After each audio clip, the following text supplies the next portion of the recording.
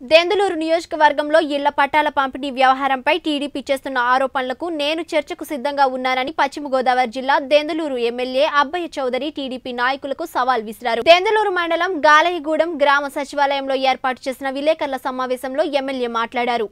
రాష్ట్ర ప్రభుత్వం ఆర్థికంగా ఇబ్బందులు ఉన్నప్పటికీ ఇచ్చిన హామీని ముఖ్యమంత్రి వైఎస్ జగన్మోహన్ రెడ్డి ముప్పై లక్షల ఇల్లు ఇస్తుంటే రాక్షసులుగా టీడీపీ నేతలు అడ్డుకుంటున్నారని చెప్పారు. ఎంతమంది ఎన్ని కుట్రలు చేసినా ఆగస్టు పదిహేనవ తేదీన ఇళ్ళ పట్టాలు ఇచ్చి తీరుతామని ఎమ్మెల్యే స్పష్టం చేశారు. ప్రభుత్వంపై విమర్శలు ఆపకపోతే సహించేది లేదని హెచ్చరించారు. ముందుగా ఈరోజు మనందరం కూడా విన్నాం చూసాం చాలాసార్లు విన్నాం కూడా.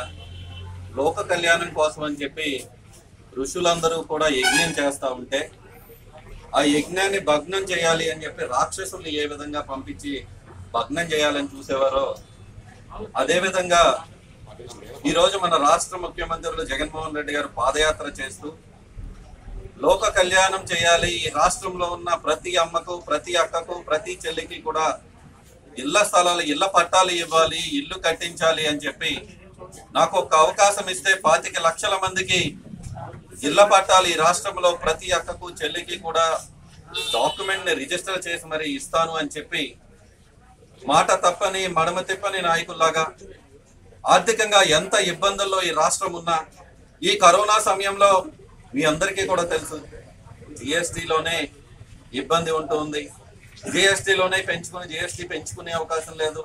ఖర్చు పెడితే జిఎస్టిలో డబ్బు వచ్చే అవకాశం ఉంటుంది. ఆర్థికంగా ఎంత ఇబ్బందులు ఉన్నా కూడా మాట ఇచ్చాము అక్క చెల్లెమ్మలకు అమ్మకు ఇచ్చిన పట్టాలు మాట ఇచ్చామని చెప్పి ఈ రోజు ఒక యజ్ఞం లాగా ముప్పై లక్షల మందికి ఇళ్ళ పట్టాలు ఇచ్చే కార్యక్రమం చేస్తూ ఉంటే రాక్షసుల రాగా ఈ తెలుగుదేశం నాయకులు ఒక రాక్షస రూపంలో ఈరోజు ముప్పై లక్షల మంది పేదవారికి ఇళ్ళ పట్టాలు ఇస్తుంటే కూడా పిటిషన్లు వేయించి వందలాది పిటిషన్లు వేయించి దాంట్లో ఒక నాలుగు పిటిషన్లో వీటన్నిటిపై కూడా హైకోర్టు నుంచి కూడా తీర్పు రావటం ఈ కరోనా సమయంలో మాకు ఎప్పీల్కి వెళ్ళే సమయం లేకపోవటంతో ఒక మహాయజ్ఞం చేద్దాం అనుకున్న మాకు కూడా ఈరోజు రేపు చేయాల్సిన కార్యక్రమం. మా రాజన్న గుర్తుపెట్టుకుని రాజన్నను మరొకసారి రాజన్న పేరు తలుచుకునే రేపు ఒక మహాయజ్ఞంగా ముప్పై లక్షల మందికి ఇల్లు పట్టాలు ఇద్దామనే కార్యక్రమం పెడితే దాన్ని కూడా వీళ్ళు రాక్షసుల్లాగా ఆపటం. కానీ ఈ రోజు మీకు తెలియదు